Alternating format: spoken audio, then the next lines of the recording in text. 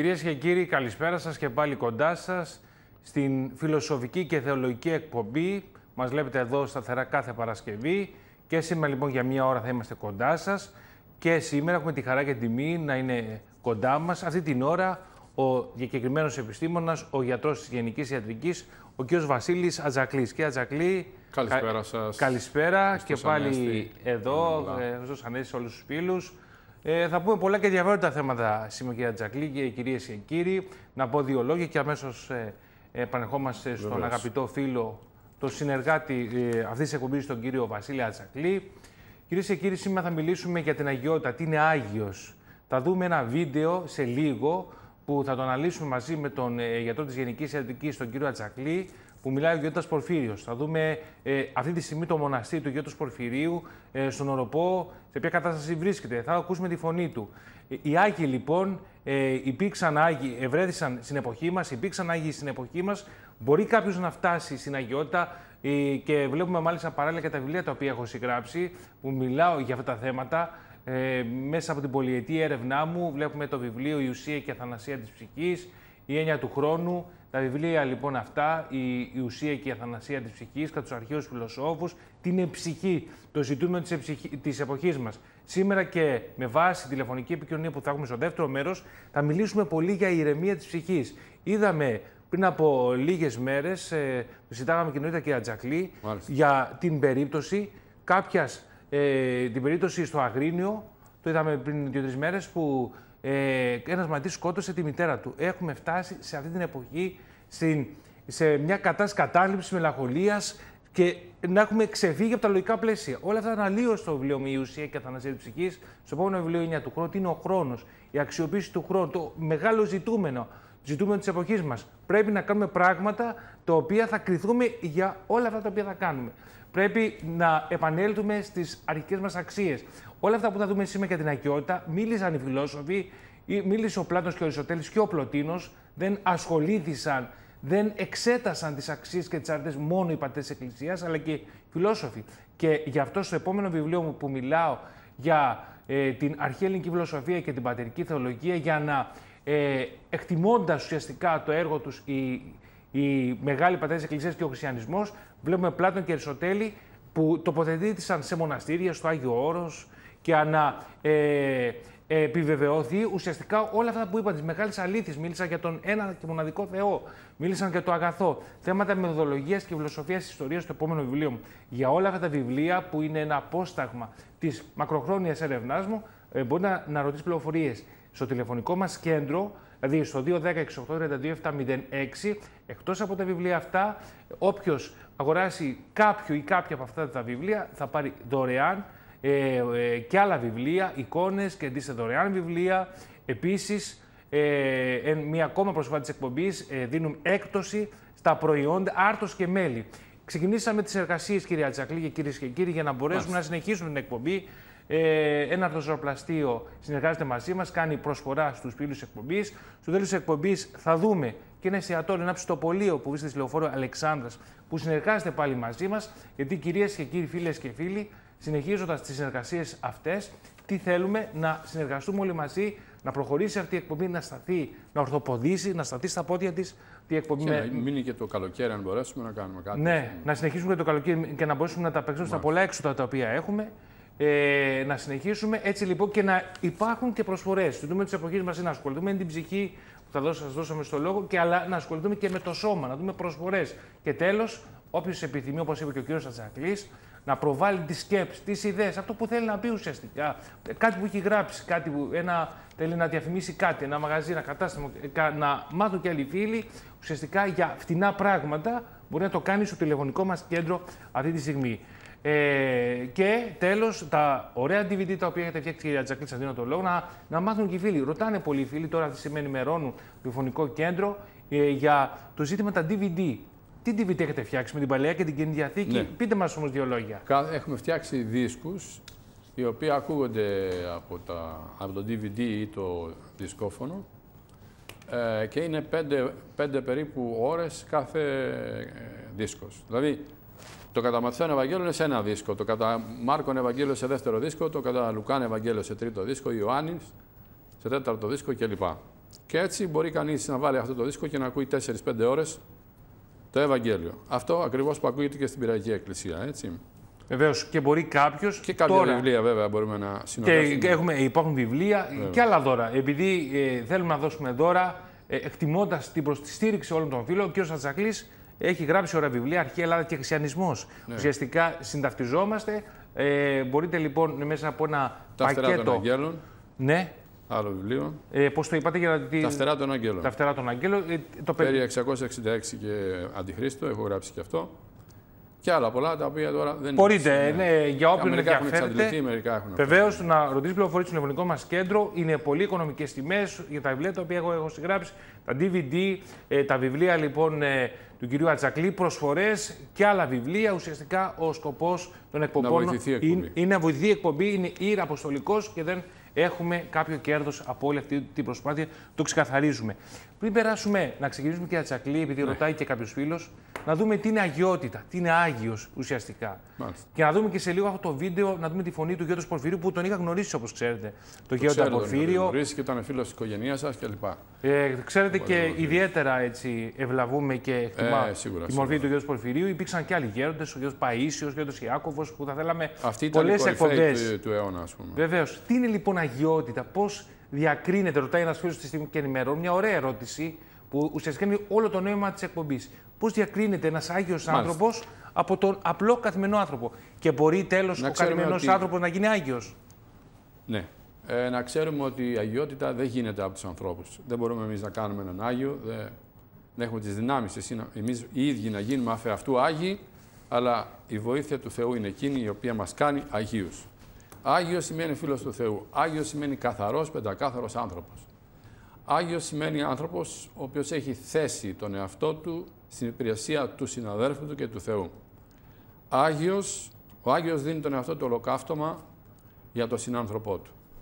Άγιος είναι εκείνος ο οποίος δεν είναι μεν αναμάρτητος, διότι μόνο ο Θεός είναι αναμάρτητος, αλλά αποφεύγει τις αμαρτίες και έχει ελάχιστες, δηλαδή ε, δεν έχει, τις, έχει μόνο τις συγνωστές αμαρτίες, αυτές που γίνονται μέσα στη διάνοια, παραδείγματος χάρη κλπ δεν είναι τελείως αναμάρτητος, διότι ο τελείως αναμάρτητος ήταν μόνο ο κύριος. Αυτό να το ξέρουμε. Μόνο ο Χριστός υπήρξε το τελείως αναμάρτητο όν αυτού του κόσμου. Έτσι. Ουδής άλλος. Και αυτούς που λέμε Αγίους έχουν κάποια σφάλματα γιατί είναι άνθρωποι. Είναι ανθρώπινο το αμαρτάνουν. Έτσι, να το ξέρουμε αυτό. Και το σπουδότερο, ο Άγιος έχει επαφή με το Άγιο Πνεύμα. Δηλαδή δεν σου λέει δικά του πράγματα, αλλά σου λέει αυτά που ακούει από το Θεό. Γι' αυτό μερικές φορές λένε τα ονόματα αυτών που τους επισκέπτονται Λένε ότι εξή έχεις ένα κτήμα, έλεγε ο πατήρ Πορφύριος. Και μες στο κτήμα σου έχεις, λέει, έχεις τρεις οικές και ένα πηγάδι. Εκεί το πηγάδι, ρε παιδί μου, τι το έχετε κάνει, λέει, το έχετε βάλει χώματα, γιατί αυτό το πηγάδι βγάζει νερό. Και λοιπά, αν σκάψετε λίγο πιο βαθιά και τέτοια. Και ο άλλος απόρρισε. Σου λέει, Πού ξέρει που έχω κτήμα, που ξέρει που είναι οι τρεις οικές αυτές που λέει και λοιπά. Αυτά τα ξέρει το Άγιο Πνεύμα και του τα μεταφέρει για κάποιους λόγους που ξέρει ο Θεός. Την επιβίωση λοιπόν του Αγίου Πνεύματος κτλ. Αυτή η επαφή λοιπόν με το Άγιο Πνεύμα είναι η αγιοσύνη. Προϋποθέτει από τη μεριά του ανθρώπου μια καθαρότητα, μια σεμνότητα, μια αγάπη προς το Θεό και μια αυτοθυσία.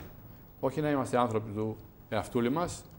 Ο Άγιος δεν είναι άνθρωπος του εαυτούλη του. Ο, άνθρωπος είναι, ο, ο Άγιος είναι άνθρωπος του να δώσω, να προσφέρω, να αναλωθώ, να κάνω κάτι καλό για τον άλλον. Αυτό θα πει αγιοσύνη.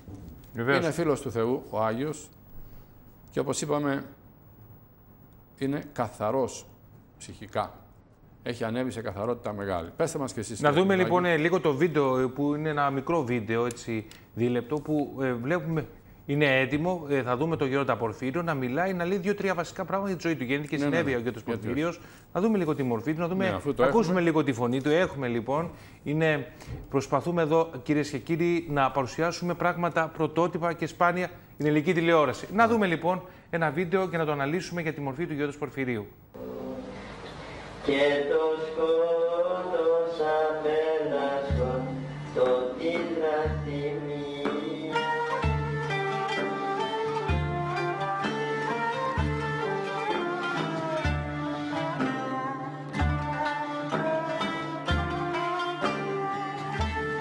Εγώ τότε ήμουνα 12 χρονών και διαβάζοντας το βίο του Αγίου Ιωάννου του Καλυβίτου απεφάσισα να τον μιμηθώ και και έπηγα μόνο μου και τράβηξα ρωτώντας για το Άγιο Νόρο. Είχα φύγει τρεις φορές για να πάω στο Άγιο Νόρος και ο πειρασμός με γύριζε πίσω. Όταν μικρούδης έφυγα για το Άγιο Νόρος πολλές ταλαιπωρίες υπέφερα. Πήγα, ξαναγύρισα, πήγα, ξαναγύρισα, πήγαινα μέχρι Θεσσαλονίκη. Και έκλαιγα και γύριζα πάλι.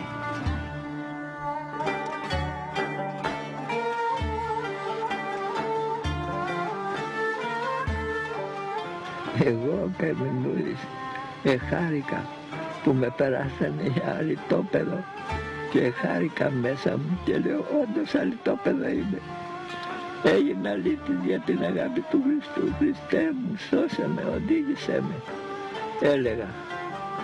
Λοιπόν, και το θυμάμαι που έτσι κοιτάζα και έλεγα ότι η θάλασσα, η ζωή είναι μια θάλασσα φουρτουνιασμένη.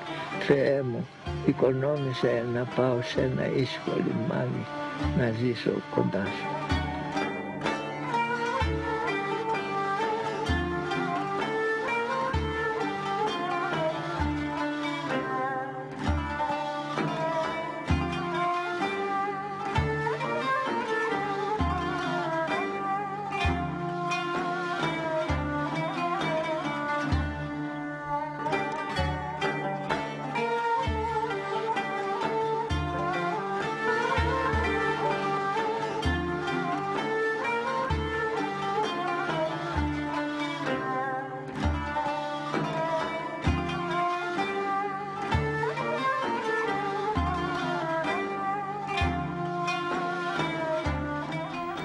Κυρίες και κύριοι, ε, κύριε Τσακλή, αυτή τη στιγμή ε, τελειώνοντας αυτό το βίντεο, βλέπουμε και το μοναστήρι στον Οροπό, στο Μίληση του Γιώργου Πορφυρίου. Βλέπουμε και το ναό που ε, επειδή τα τελευταία χρόνια ο Γιώργο Πορφύριος ήταν τυφλός, όπου ο ίδιος έκανε τα σχέδια. Βλέπουμε τον ε, ναό που είναι στα ε, δεδομένα και έχοντας στα πρότυπα του της Αγίας Σοφίας ε, της Κωνσταντινούπολης. Είναι ένας μεγάλος ναός, πολύ όμορφος.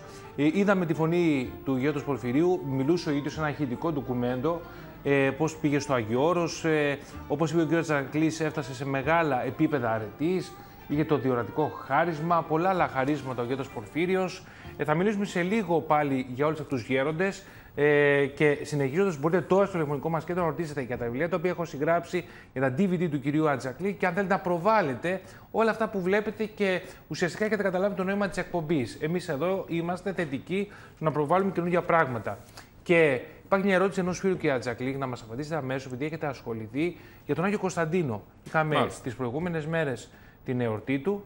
Να ναι. δούμε λίγο, ε, γιατί είναι μια προσωπικότητα μεγάλη, σημαντική Πάρα και παραξηγημένη. Πολλοί λένε ότι πώς έγινε Άγιος Δεν είναι παραξηγημένη από τους Ορθόδοξους. Ναι. Είναι παραξηγημένη από τους αιρετικούς. Από τους αιρετικούς, ναι. ναι. Για να ακούσουμε λίγο. Την... Κοιτάξτε, οι αιρετικοί και η, πώς θα το πούμε τώρα, ε, η τακτική του δαίμονα είναι ναι. να συκοφαντεί τα μεγάλα πρόσωπα. Τι να συκοφαντήσει τώρα κάποιον ο οποίος δεν έχει σημασία. Συκοφαντούν την Παναγία και λένε ότι έχει παιδιά, ότι αυτό κλπ. Ε, συκοφαντούν δηλαδή κάποιους οι οποίοι αξίζουν σε αυτή την, ανθρω... στην ανθρωπότητα αυτή. Και ένας από αυτούς μέγας της ιστορίας αλλά και της θρησκείας μας είναι ο Μέγας Κωνσταντίνος. Τον συκοφαντούν λοιπόν με διάφορες συκοφαντίες που θα αναφέρουμε σε λίγο. Μόνο να πούμε, δώσουμε το πορτρέτο αυτού του άνδρα, τον οποίο εγώ πιστεύω ότι μαζί με τον Μέγα Αλέξανδρο ήταν οι δύο μεγάλοι σύμφωνες της ανθρωπότητα. Γιατί τους λέω σύμφωνες, γιατί εκεί που πέρασαν έστρωσαν δρόμο για χιλιετίες, όχι για εκατονταετίες και πεντηκονταετίες, ναι. για χιλιετίες. Λοιπόν, ο Μέγας Αλέξανδρος τυχαίνει να είναι το 330, 20 με 30 π.Χ. Αντιστοίχως, ο Μέγας Κωνσταντίνος είναι το, 200, το 320 με 330 μετά Χριστόν. Δηλαδή έχουν μια απόσταση από τον Χριστό 330 χρόνια αυτοί οι δύο. Ναι. Μήπως, λέω με το μυαλό μου, είναι σημαδιακό αυτό για την ιστορία της ανθρωπότητας. Να θυμώνται δηλαδή οι άνθρωποι ότι τότε έγινε αυτός ο άνθρωπος και τότε βγήκε εκείνος ο άνθρωπος. Τώρα, είπαμε ότι είναι δύο σύμφωνες. Ο Μέγας Αλέξανδρος ήταν ένας νεαρός σύμφωνας, ο οποίος πήρε παραμάζωμα όλη την ανθρωπότητα. Έκανε ένα στρατό και με αυτό το στρατό πήγε και, και πολέμησε και καταστρατήγησε και εξόντωσε όλους τους στρατούς του κόσμου. Και των Περσών βέβαια που ήταν ο πιο ισχυρός στρατός του κόσμου τότε. Ο Μέγας Αλέξανδρος ήταν ένα άλλο φαινόμενο. Ναι. Ήταν η ορμή, η Ανδρεία, το ξύφος. Ο Μέγας Κωνσταντίνος ήταν η Ανδρεία, η ορμή και το ξύφος, αλλά ήταν και αγιώτης. Και θα δούμε τι σημαίνει αγιώτης και τι πράγματα έκανε ο Μέγας Κωνσταντίνος. Ποιος άλλος μπορεί να συγκριθεί με τον Μέγα Αλέξανδρο και με τον Μέγα Κωνσταντίνο στην ιστορία, Μήπως ο Ανίβας, ένας άξεστος, αγρίκος, που φώνευε οποιονδήποτε έβρισκε και του τα κεφάλια; Ναι. Μήπως ο Καλιγούλας, ο Ταβερλάνος, ο Ατήλα. Αυτή ήταν σκέτη σφαγής της ανθρωπότητας. Εμοχαρεί, αμόρφωτοι, άξεστοι, άθεοι, θεοποιούσαν τον εαυτό τους, φιλάργυροι, τρελοί. Ενώ, κοιτάξτε, ο Μέγας Κωνσταντίνος ήταν ένας άνθρωπος ο οποίος ωφέλησε την ανθρωπότητα ωφέλησε την ανθρωπότητα. Ουδής πιο φιλάνθρωπος και δικαιότερος και πιο σεβάσμιος και πιο θεοφιλής από τους μεγάλους υπήρξε παρά ο Μέγας Κωνσταντίνος. Αν τον συγκρίνουμε με τους αρχαίους Ρωμαίους ε, στρατηγούς και βασιλιάδες, ε, αυτοί ήταν συγκριτικά με αυτόν τα κατακάθια και τα καθάρματα της ιστορίας. Ο Μέγας Κωνσταντίνος τι έκανε; Ένα από τα μεγαλύτερα που έκανε ήταν το διάταγμα των Μεδιολάνων. Δηλαδή, τι, το αυτονόητο σήμερα που λέμε ότι δεν πρέπει να κυνηγάμε κανέναν για τη θρησκεία του, αυτό το καθιέρωσε τότε για πρώτη φορά στην ανθρωπότητα, διότι τότε, κύριε Φουντουλάκη, όπως ξέρετε, ναι. ιστορία καλύτερα από μένα, ναι, κύριε καθηγητά μου, τότε τι γινότανε; Όταν δεν είχε, ιστο... Όταν δεν είχες τη θρησκεία, το ίδιο θρήσκο με τον αυτοκράτορα, έπρεπε να σου πάρουν το κεφάλι. Ναι, βέβαια. Λοιπόν, ε, ναι, αυτές είναι οι συνθήκες που επικρατούσαν. Αυτός τι είπε; Εγώ είμαι τώρα κυρίαρχος του κόσμου, είμαι αυτοκράτορας Ανατολής και Δύσεως, βγάζω ένα διάταγμα και λέω: Κανείς άνθρωπος δεν θα κυνηγέται για το θρήσκευμά του. Αυτό τι, με αυτό τι έγινε. Βγήκαν οι χριστιανοί από τις κατακόμβες. Γλιτώσαν εκατομμύρια άνθρωποι το κεφάλι τους με το διάταγμα των Μεδιολάνων. Ε, γιατί έγινε στο Μιλάνο που το λένε Μεδιόλανο. Ναι, και, που υπήρξε η ανεξιδρυσκεία. Ναι. Έδωσε την πρέπουσα αξία στο ανθρώπινο πρόσωπο. Την ανθρώπινη ελευθερία με το διάταγμα των Μεδιολάνων. Όπως ο Θεός έδωσε την ελευθερία στον άνθρωπο να κάνει ό,τι θέλει, ακόμα και να τον αρνείται, έτσι και ο Κωνσταντίνος, υπάκουος του Θεού, έτσι ξέροντας τι είναι ο Θεός πραγματικά και ποιος είναι ο, ο αληθινός Θεός, διότι η μάνα του τον έκανε χριστιανό μετά από λίγο, έτσι. Ναι. Κάθε άνθρωπος λοιπόν θα πιστεύει σε αυτό που θέλει και κανείς να μην τολμήσει να καταδιώξει τον άνθρωπο γι' αυτό. Ανεξιθρησκεία. Μην το βλέπουμε τώρα ότι ήταν, ήταν μικρό πράγμα η ανεξιθρησκεία. Τότε ήταν ένας, ένα, ένα πράγμα, μια ατομική βόμβα που έπεσε στην ανθρωπότητα. Τι δηλαδή δεν θα κυνηγάμε αυτούς που δεν πιστεύουν την ίδια θρησκεία με τον αυτοκράτορα, λέγανε οι περισσότεροι. Ναι, δεν θα κυνηγέται αυτός που πιστεύει άλλη θρησκεία από τον αυτοκράτορα.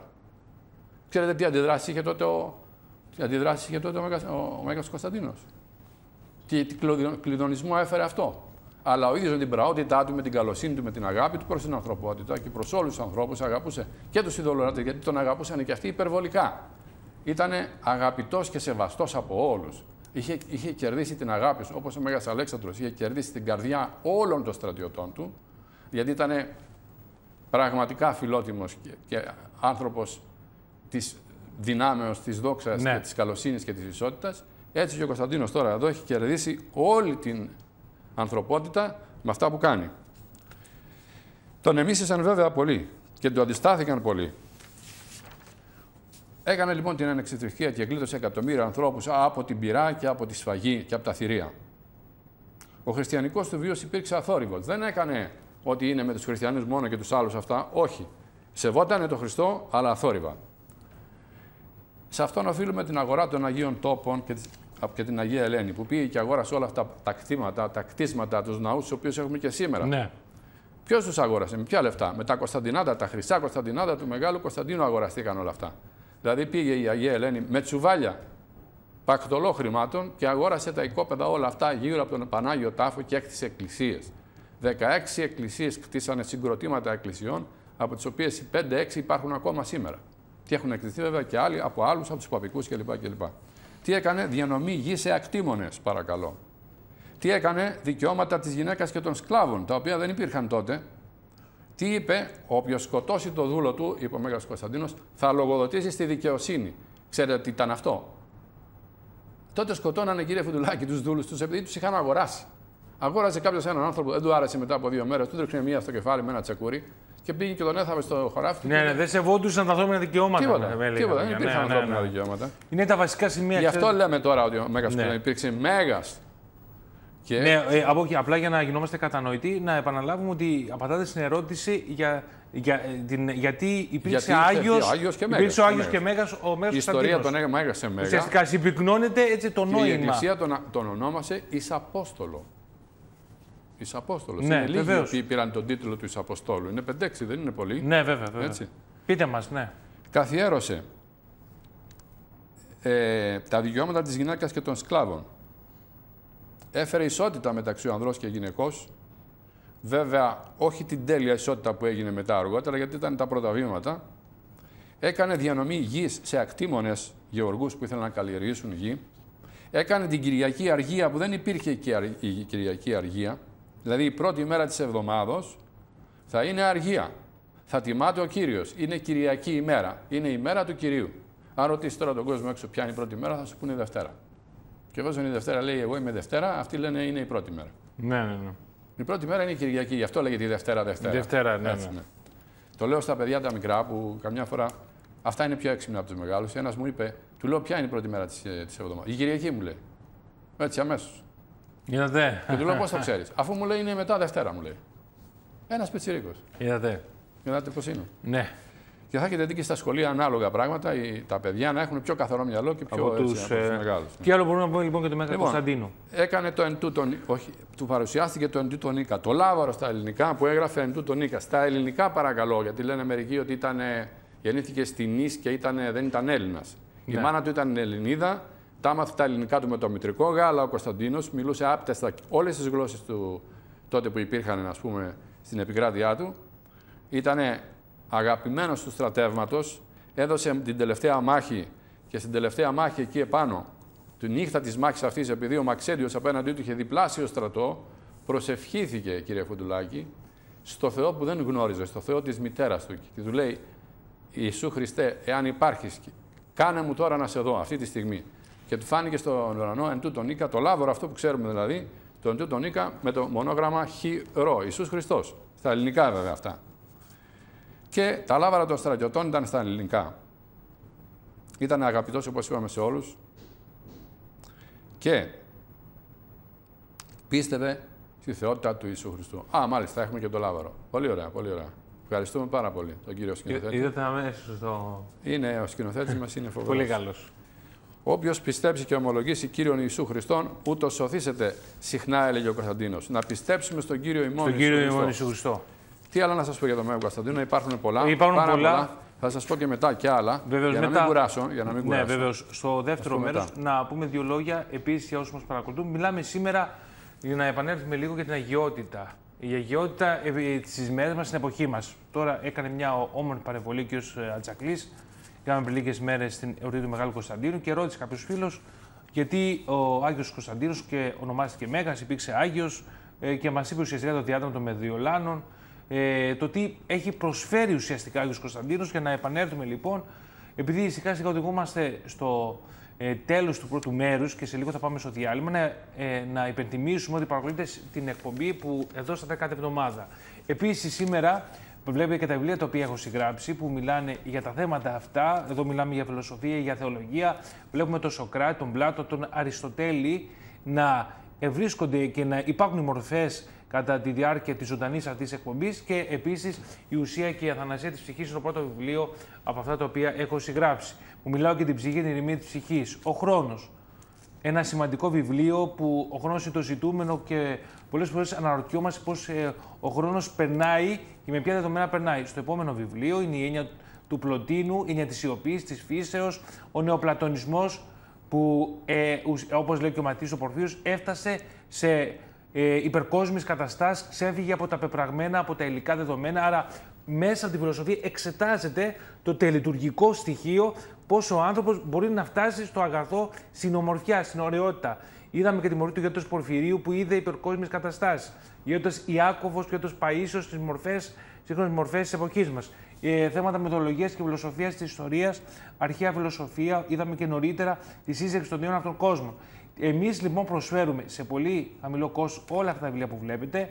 Κερδίστε επίσης δωρεάν βιβλία ε, ε, και άλλα δώρα. Κερδίστε δωρεάν βιβλία επίσης μαζί με τη σειρά αυτή των βιβλίων. Ο κ. Ατζακλή έχει δημιουργήσει DVD, προσφέρει και αυτός δωρεάν βιβλία.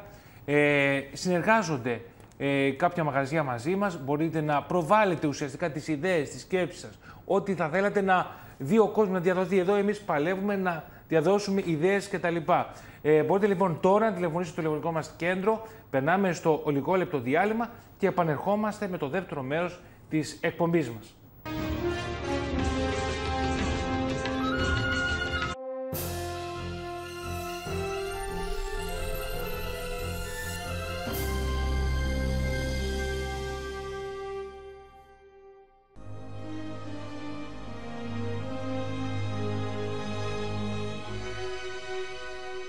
CD και DVD με την Καινή και Παλαιά Διαθήκη. Διαβάζει ο Βασίλης Ατζακλής.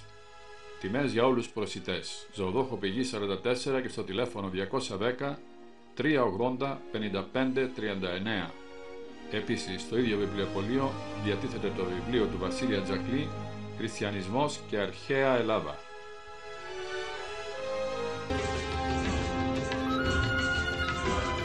Κυρίες και κύριοι, συνεχίζουμε την εκπομπή. Ε, μπορείτε και στο δεύτερο μέρος να επικοινωνείτε μαζί μας, να επωφεληθείτε από τις προσφορές που κάνουμε στη σημερινή εκπομπή.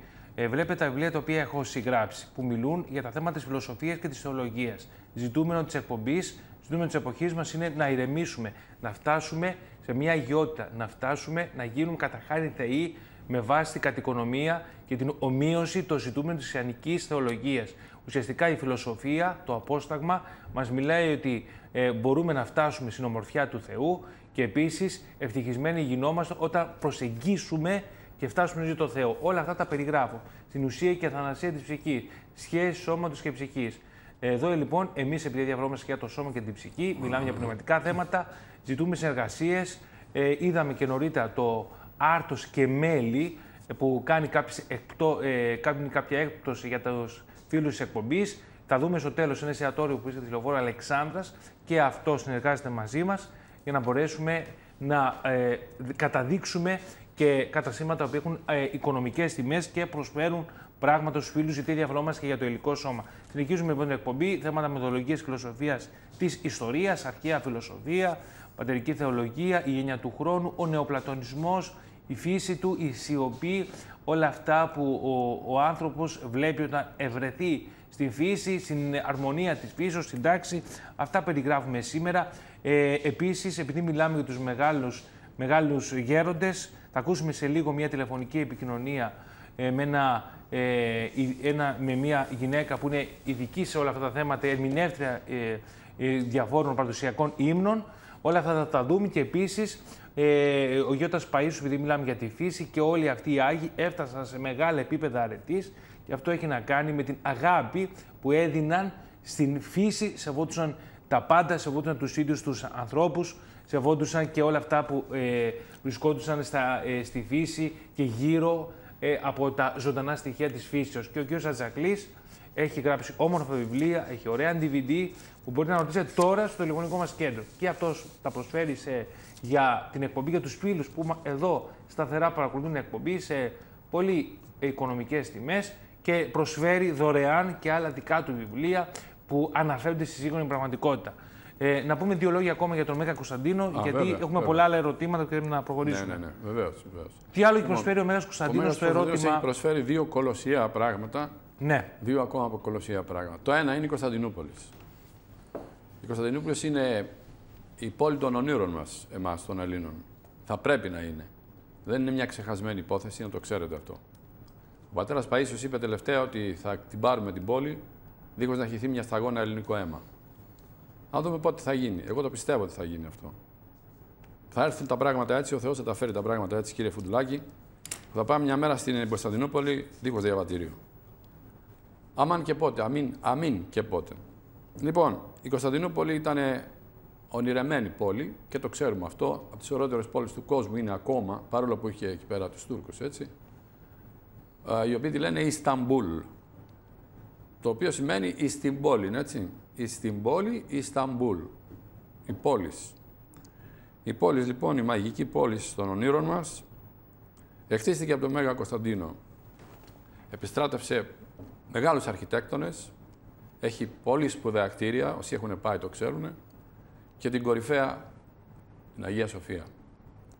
Την Εκκλησία των Εκκλησιών, η οποία όταν μπαίνεις μέσα, μου είπαν εκείνοι που έχουν πάει, εγώ δεν έχω πάει προσωπικά, την έχω δει μόνο από φίλου κλπ.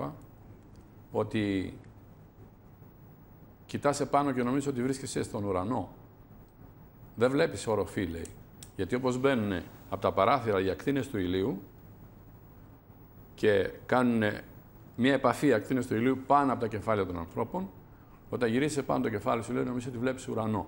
Είναι ένα αρχιτεκτόνημα μοναδικό στην ανθρωπότητα, το οποίο ε, ε, χτίστηκες και σε χρόνο ρεκόρ. Ναι, και έτσι να βάλουμε μια νοτελεία, να ναι. ακούσουμε στο σημείο αυτό ε, την ε, ερμηνεύτρια παραδοσιακών ύμνων που ασχολείται με τους ύμνους, είναι ψάλτρια, ε, έχει γνωρίσει το Γιώτα Πορφύριο, ε, γνωριζόμαστε πολλά χρόνια, κάνει ένα μεγάλο αγώνα για να παρουσιάζει Βυζαντινούς ύμνους στην Ελλάδα και στο εξωτερικό, μια μεγάλη προσωπικότητα, τιμάει την πατρίδα μας σε πολλά σημεία Μάλιστα. της ε, οικουμένης. Την έχουμε στο τηλέφωνο ε, την κυρία Νεκταρία Καρατζή. Νεκταρία, ε, σε καλησπερίζουμε από το στούντιο εδώ με τον Βασίλειο Αντσακλή. Καλησπέρα Γιώργο. Να σε καλά. Καλησπέρα σε όλους. Ε, τιμή μου που με καλείτε και μιλάω στο τηλεφωνικά στην εκπομπή σου. Ευχαριστώ πολύ, Εμείς γνωριζόμαστε πάρα πολλά χρόνια και αλλήμον αν δεν δεχόμουν, ε, δεν δεχόμουν αμέσως την πρόσκλησή σου. Να σε καλά, Νεκταρία μου. Θέλω να μας πεις λόγια καρδιάς. Ξέρεις, εδώ είναι μια εκπομπή διαφορετική από αυτές που ενυπάρχουν, που υπάρχουν στο, στο τηλεοπτικά προγράμματα. Εδώ με τον κύριο Βασίλη Ατζακλή, τον γιατρό, τον ε, ραδιοφωνικό παραγό της Πυραϊκής Εκκλησίας, μιλάμε για Θεό, μιλάμε για Βυζαντινούς ύμνους. Σήμερα ε, μιλάμε για Κωνσταντινούπολη, μιλάμε για Γεώτα Παΐσιο, Πορφύριο που είχες γνωρίσει και είχα γνωρίσει. Δείξαμε στο πρώτο μέρος ένα ηχητικό του οκουμέντο με τη φωνή του Γεώτος Πορφυρίου.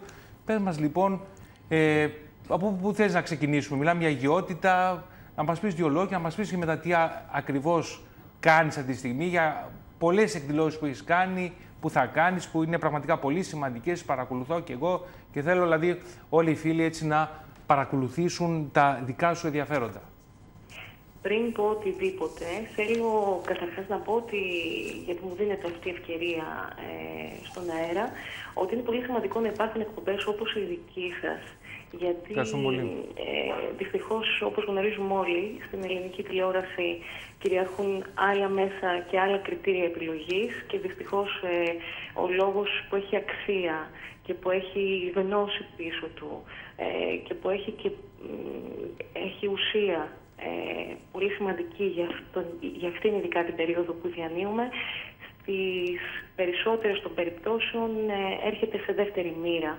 Ε, είναι πολύ σημαντικό που μπορείς να έχεις φωνή και εσύ και ο κύριος Εντζακλής ε, στην τηλεόραση για να μπορούμε όλοι να ωφελούμαστε ε, και στηρίζουμε όλοι όσοι έχουμε την ίδια ε, την ίδια σκέψη, την ίδια λογική, την ίδια πίστη, πρέπει να στηρίζουμε ένα τέτοιο αγώνα όπως αυτό που κάνετε. Βεβαίως. Εμείς εδώ μάλιστα ε, παρουσιάζουμε ε, πνευματικά ενδιαφέροντα. Έχω παρουσιάσει την δραστηριότητά μου, τη δραστηριότητα του κ. Ατζακλή, τα βιβλία μας, έχει DVD ο κ. Ατζακλής. Να δούμε λοιπόν την δική σου προσπάθεια να μάθει ο κόσμος, γιατί είναι σημαντική προσπάθεια, είσαι γνωστή ουσιαστικά, δεν έχεις ανάγκη έτσι προβολής ή καλών λόγων. ουσιαστικά, θα θέλαμε πολλές εκπομπές για να πω το βιογραφικό σου. Να πούμε έτσι με δύο λόγια ουσιαστικά τι έχεις κάνει, τι κάνεις ε, και πού μπορεί κάποιος να παρακολουθήσει τα δικά σου τεκτενόμενα. Ε, αυτό το, το μεγαλύτερο κομμάτι με το οποίο ασχολούμαι αυτή την περίοδο ε, εδώ και αρκετά χρόνια είναι η βυζαντινή υμνογραφία και το παραδοσιακό τραγούδι, τα οποία τα θεωρώ, όπως ο δάσκαλός μου Χρόνης Φιδονίδης, δύο, ε, ε, δύο κομμάτια της μουσικής ε, που βρίσκονται σε απόλυτη σύμπνοια. Είναι σαν δύο αδέρφια, είναι, ή όπως το λέει ο Χρόνης Φιδονίδης, είναι σαν δύο κλονάρια του ίδιου δέντρου, ε, με ρίζες στην αρχαία ελληνική μουσική και αποτελούν την ταυτότητα και την παράδοσή μας. Αυτό δεν το, δεν το λέω απλώς σαν μια εθνικιστική ας πούμε κραυγή, ε, αλλά είναι μια ουσία. Δηλαδή, ερχόμενοι όλοι σε επαφή με την παράδοσή μας, με αυτό που ουσιαστικά είναι η φωνή των παππούδων μας, ε, δεν είναι παρά σαν να ακουμπάμε λίγο από, από την οικογένειά μας, από το δέντρο μας. Το να έχουμε γνώση από πού ερχόμαστε, ποια είναι η ιστορία μας, ε, ποιοι είναι οι προπάτορές μας, ποιες ήταν οι προοπτικές τους για εμάς, ε, μας δίνει ένα πολύτιμο εφόδιο για να μπορέσουμε να προχωρήσουμε. Που αν το καταργήσουμε από τη ζωή μας όπως πολύ έντονα έχουμε προσπαθήσει να κάνουμε και ως άνθρωποι και ως ε, ολότητες, ως έθνη τα τελευταία χρόνια, τότε είναι σαν να καταργούμε ένα πολύ μεγάλο μέρος αυτού που είμαστε. Σαν να καταργούμε το ίδιο το όνομά μας. Ωραία, Νεκταρία. Δεν ανώνυμοι. Πες μας δύο λόγια τώρα τι άλλες εκδηλώσεις σκοπεύεις να κάνεις και να ανανεώσουμε το ραντεβού μας και τα πούμε και εδώ στο στούντιο ζωντανά και να τα πούμε όλα αυτά τα πράγματα τα οποία είναι πολύ ενδιαφέροντα. Ε, κάποιες εκδηλώσεις που κάνεις τώρα αυτές τις επόμενες μέρες; Ε, αυτή την περίοδο έχω ξεκινήσει μια συνεργασία με έναν ε, διεθνούς φήμης μαέστρο και συνθέτη, τον Βασίλη του Τζαμπρόπουλο και πιανίστα, ο οποίος έχει πολύ μεγάλη επαφή με την βυζαντινή εκκλησιαστική μουσική, γιατί είναι και ο ίδιος ψάλτης. Ε, ξεκινήσαμε μια ε, γενιάσαμε μάλλον μια συνεργασία στο Μέγαρο Μουσικής μέσα στις ημέρες της Μεγάλης Εβδομάδας και θα συνεχίσουμε μέσα στο καλοκαίρι και στην Ελλάδα και στο εξωτερικό και με δισκογραφία αντίστοιχη ε, κάποιες ιδέες που έχουμε για να δείξουμε ότι η μουσική ουσιαστικά είτε της Δύσης είτε της Ανατολής, κάθε μία με τις ιδιωτερότητές της, μπορούν να συνεπάρξουν επί σκηνής και να εμνολογήσουν το Θεό. Ωραία, Νεθαρία ε, να είσαι καλά. Ευχαριστούμε πολύ που αποδέχτηκες αυτή την πρόσκληση. Ανανεώσουμε το ραντεβού μας και να τα πούμε και από κοντά, να τα ξαναπούμε και να κάνουμε ένα αφιέρωμα στην πολύ ωραία έτσι, φωνή την οποία έχεις την ωραία επικοδομητική. Ευχαριστούμε πάρα έτσι, πολύ. Πράγματα τα οποία Ευχαριστώ κάνεις. Ευχαριστώ και εγώ πάρα πολύ και προτρέπω, προτρέπω τους ε, ακροατές να ε, συνδράμουν σε τέτοιου είδους προσπάθειες όπως οι δικές σας και επίσης ε, δεν μπορώ να μην το πω γιατί ε, έχω, είμαι ήδη γνώστης αυτών, αυτού του υλικού που έχεις καταγράψει με πολύ μεγάλη προσπάθεια και γνώση ότι τα βιβλία σου είναι ε, ίσως αυτή τη στιγμή ένας, πολύ, ένας από τους πολύ χρήσιμους οδηγούς για όσους θα ήθελαν να προσεγγίσουν για πρώτη φορά την αρχαιολινική γραμματεία με όλη αυτή τη συμπιπτωμένη γνώση που περιέχουν και που δίνεται απλόχερα με απλό λόγο και ίσως θα πρέπει να βρίσκονται σε κάθε βιβλιοθήκη. Να είσαι καλά, Νεκταρή μου. Ευχαριστώ πάρα πολύ. Ε, η φωνή σου ουσιαστικά έτσι είναι αγγελική, το έχουμε ξαναπεί, δεν ε, είναι μια κολακή. Αυτό το λέω γιατί και εγώ είμαι γνώση τη μουσικής και ο κ. Τζακλής εδώ είναι γνώση μουσικής. Ε, θα υπάρχει ευκαιρία, δυνατότητα να δείξουμε και αποσπάσματα τη δουλειά σου, από τις εργασίες σου, από όλα αυτά. Ευχαριστώ γιατί... πάρα πολύ και τους δύο και τους ακροατές σας που με ακούσατε. Να σε καλά, ήταν καλή δύναμη και θα ξαναεπικοινωνήσουμε. Ό,τι καλύτερο. Να είστε καλή, να Ό,τι καλύτερο. Ε, ωραία, είχαμε Λοιπόν, έτσι μια ευχάριστη νότα, κυρία ναι, Τσακλή. πολύ ευχάριστη Προχωράμε. Ε, λέγατε ε, για τον Μέγα Κωνσταντίνο. Το Μέγα Κωνσταντίνο. Λοιπόν, έκτισε την Κωνσταντινούπολη, έτσι. Δεν χρειάζεται να πω πολλά για να καταλάβει κανείς τι σημαίνει η Κωνσταντινούπολη. Ότι έγινε το κέντρο του πνευματικού κόσμου, ότι έγινε η πρωτεύουσα των τριών υπήρων επί 11 παρακαλώ ολόκληρες εκατονταετίες, δηλαδή 11 mm. αιώνες, έτσι, από το 330 μετά Χριστόν μέχρι το 1453 που έγινε η άλλη Κωνσταντινούπολης. Ναι. Μπορεί να καταλάβουμε λοιπόν τι σας λέω. Τι μέγεθος είναι αυτό. Οι άλλες πόλεις δεν κρατήσανε παραπάνω από 100-200 χρόνια. Λοιπόν, σε δόξα δηλαδή, όχι σε αυτό. Η Κωνσταντινούπολη λοιπόν ήταν ένα μεγάλο επίτευγμα του Μεγάλου Κωνσταντίνου. Τώρα, και όπως είπε ο πατήρ Παΐσιος, θα το ξαναπούμε αυτό, θα ελευθερωθεί η Κωνσταντινούπολη και θα ξανάρθει στους Έλληνες. Τώρα βέβαια δεν είναι του πατρός Παϊσίου μόνο αυτό το πράγμα, αλλά είναι και του Κοσμάτου Ετωλού, ο οποίος προφήτευσε ο Κοσμάς ο Ετωλός ότι η Κωνσταντινούπολη θα έρθει στα χέρια των Ελλήνων κάποτε. Το είχε πει και προ της αλώσεως της Κωνσταντινούπολης και το είπε και για αργότερα ότι θα γίνει. Λοιπόν, έκανε όμως και κάτι πολύ σπουδαίο, αγαπητοί φίλοι, κυρίες και κύριοι, εν Χριστώ αδερφοί και Γιώργο μου, έκανε Ναι. κάτι πάρα πολύ σπουδαίο. Έκανε την πρώτη Οικουμενική Σύνοδο από αυτόν τον Μέγα Κωνσταντίνο και τους 316 πατέρες έχουμε το πιστεύω.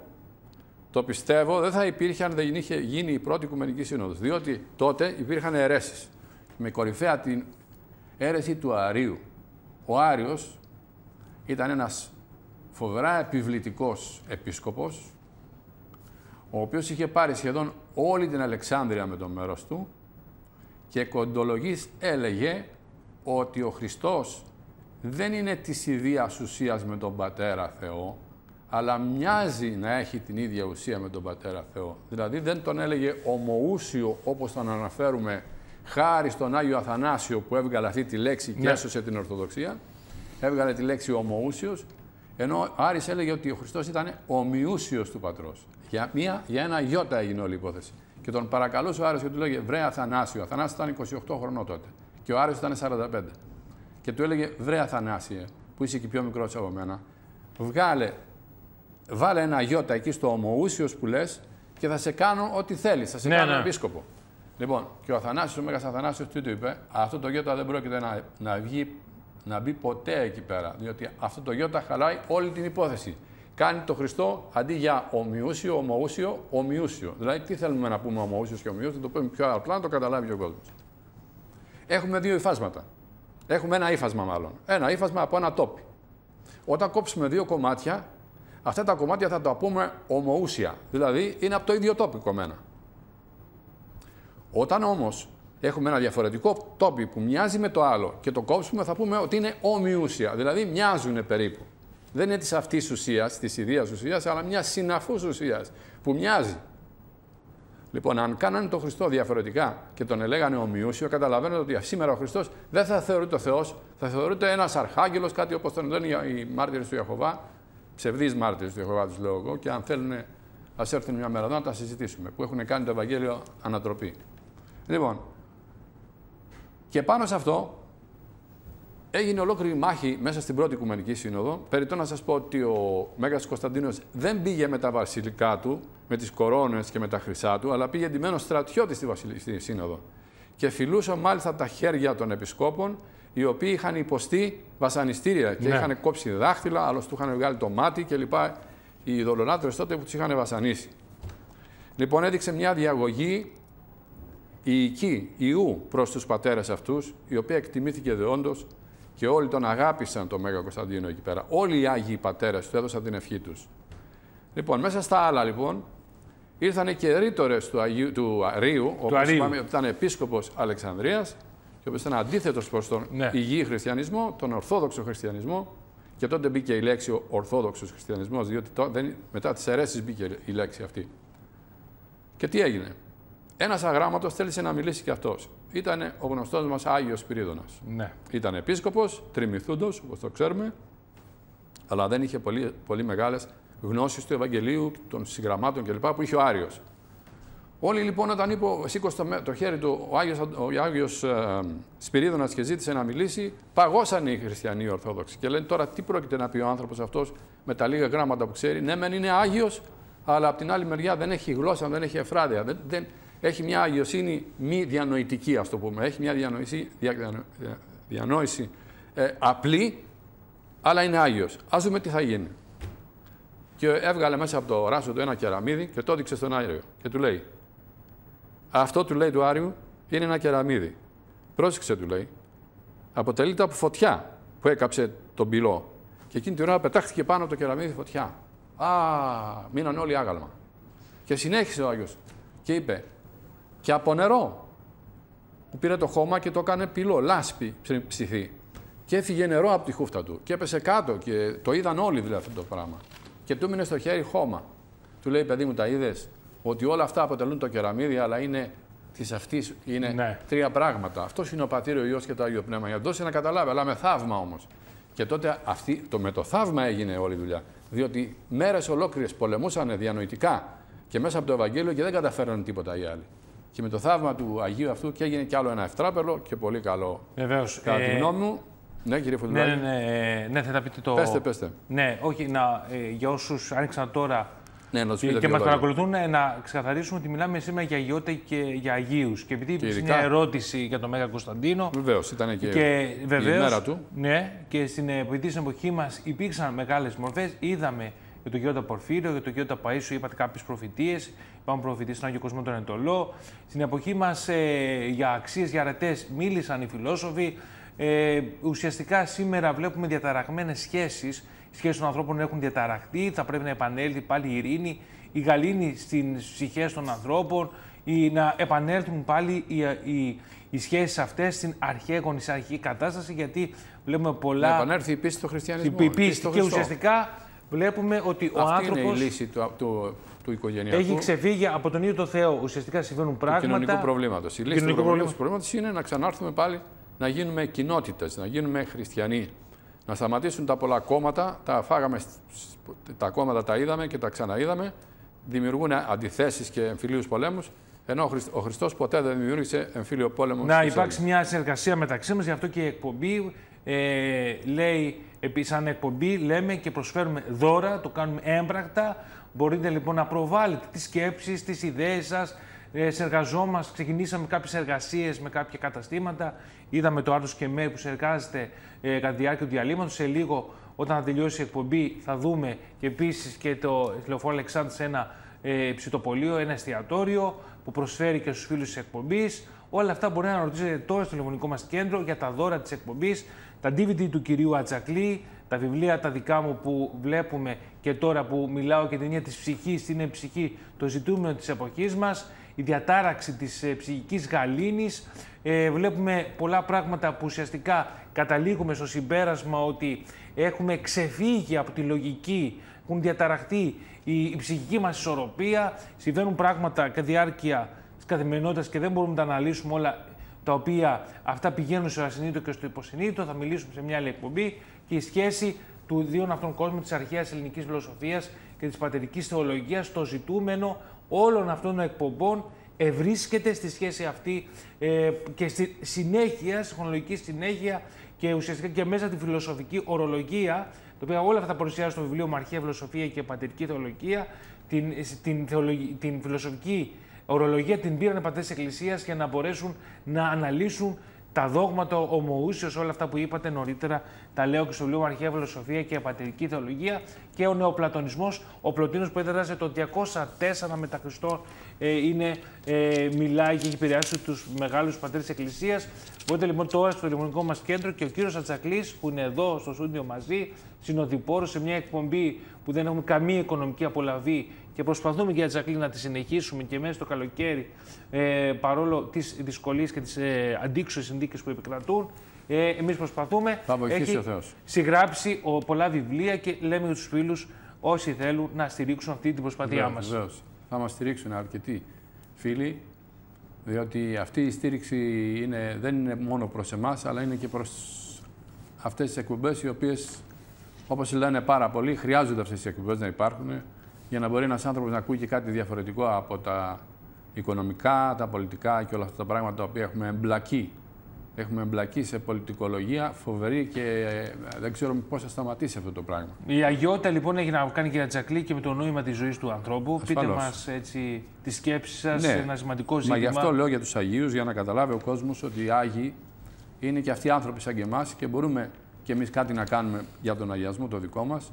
Να προσπαθήσουμε αν δεν γίνουμε μεγάλοι Άγιοι, ας γίνουμε μικροί Άγιοι, εν πάση περιπτώσει. Και αν δεν γίνουμε καθόλου Άγιοι, τουλάχιστον να γίνουμε ευγενικοί άνθρωποι. Να μην πειράζουμε, να μην ε, κάνουμε κακό στους συνανθρώπους μας. Και αυτό είναι κάτι θετικό. Με την πίστη προς τον Χριστό και με μια ζωή έτσι ε, συντηρητική, σωστή, δίχως ακρότητες και δίχως να δημιουργούμε πρόβλημα στον άλλον, παρά να ανακουφίζουμε άμα μπορούμε τον άλλον, το φτωχότερο, εκείνον ο οποίος έχει ανάγκη να ακούσει ένα λόγο προστασίας, ε, κάτι τέλος πάντων που να, ναι, να του προσφέρουμε κάτι, να προσφέρουμε στους ανθρώπους. Δεν είναι ανάγκη να είμαστε πρώτη σειρά άγιοι. Α είμαστε εκείνοι οι οποίοι θα περάσουν και θα πάνε κοντά στο Θεό, δίχως να είμαστε μεγάλοι άγιοι. Δεν ξέρουμε ο Θεός θα τα πει αυτό, ποιος θα περάσει και ποιος δεν θα περάσει στη βασιλεία του. Αλλά έχουμε τα παραδείγματα των μεγάλων Αγίων για να βλέπουμε τα αναστήματα αυτά, κύριε Φουντουλάκη.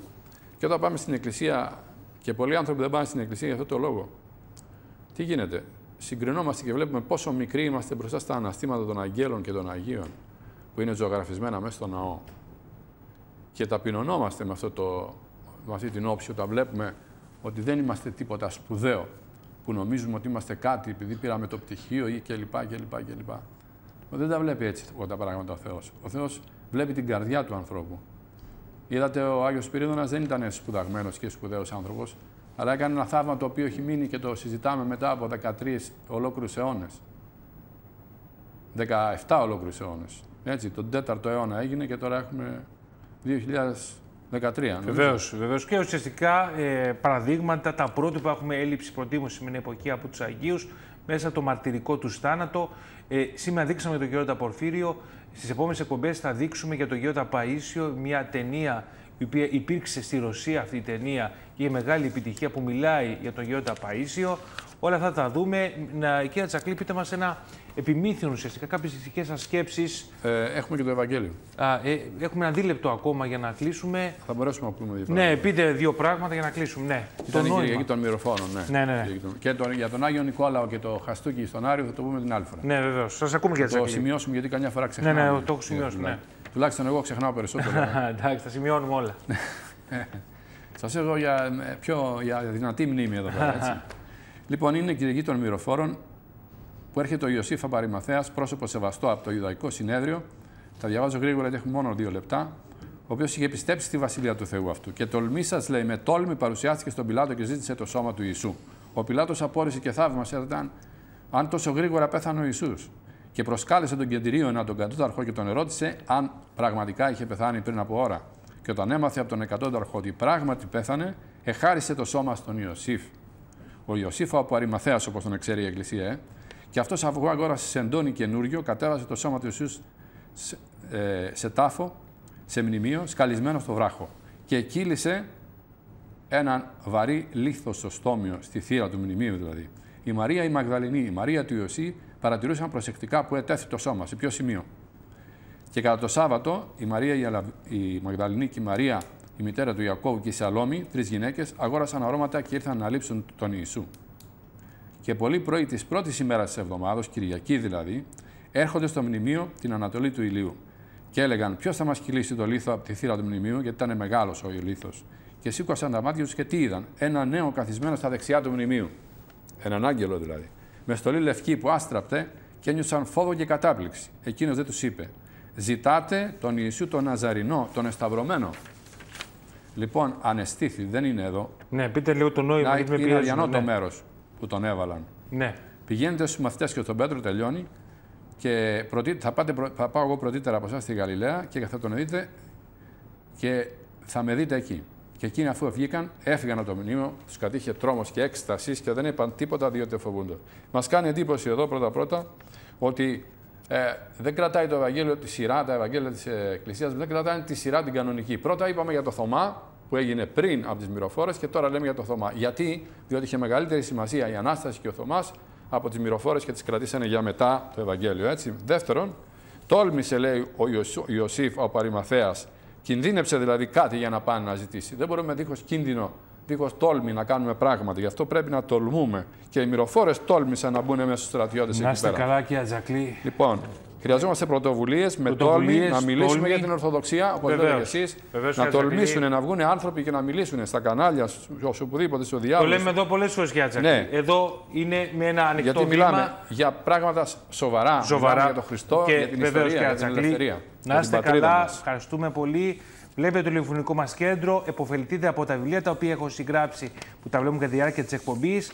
Βλέπουμε τις εκπτώσεις που κάνουμε στο Άρτο και Μέλη. Σε λίγο θα δείτε και το ε, εστιατόριο που βρίσκεται στο Λεωφόρο Αλεξάνδρας, τα DVD του κυρίου Ατσακλή, τα δικά μου βιβλία, άλλα δώρα, άλλες προσφορές του κυρίου Ατσακλή. Εκπτώσεις ε, κάνουμε προσπαθώντας να συνεργαστούμε, να καταδείξουμε φτηνά προϊόντα, φτηνά καταστήματα και επίσης διαβρώμαστε για τα πνευματικά βιβλία ε, και για τα πνευματικά ενδιαφέροντα. Τώρα μπορείτε να ρωτήσετε το τηλεφωνικό μας κέντρο στο 210 682 706.